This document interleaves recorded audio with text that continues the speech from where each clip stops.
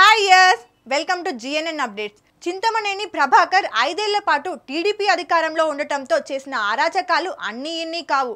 TDP ప్రభుత్వం పాలనలోనే చింతమనేనిపై మొత్తం అరవై ఆరు కేసులు నమోదయ్యాయి. సెప్టెంబర్ పదకొండవ తేదీన చింతమనేనిని పోలీసులు అరెస్ట్ చేశారు. నెల రోజులుగా జైల్లోనే ఉన్నారు. ఇక తాజాగా పద్నాలుగు రోజుల రిమాండ్ విధించడంతో కోర్టుకు వచ్చిన చింతమనేని మళ్ళీ జైలుకు వెళ్ళారు. ఎస్సీ ఎస్టీ అట్రాసిటీ కేసులు ప్రభుత్వ అధికారుల విధులకు ఆటంకం కలిగించారని ఆరోపణలు. మరోవైపు పాత కేసులు చింతమనేనిని జైలుకే పరిమితం చేస్తున్నాయి. ఇదిలా ఉంటే టీడీపీ అధినేత చంద్రబాబుతో పాటు పార్టీ సీనియర్లు సైతం తనను పెద్దగా పట్టించుకోవడం లేదని చింతమనేని తన అనుచరుల వద్ద ఆవేదన వ్యక్తం చేసినట్లు తెలుస్తోంది.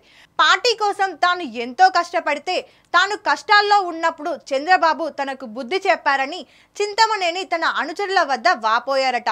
కష్టకాలంలో అండగా ఉండాల్సిన పార్టీ దూరం జరిగినట్టు అనిపిస్తోందని సన్నిహితులతో అన్నట్లు సమాచారం. మరిన్ని ఇంట్రెస్టింగ్ అప్డేట్స్ కోసం జీఎన్ఎన్ టీవీ తెలుగుని సబ్స్క్రైబ్ చేసుకోండి. This Venugopal Reddy kindly subscribe GNN YouTube channel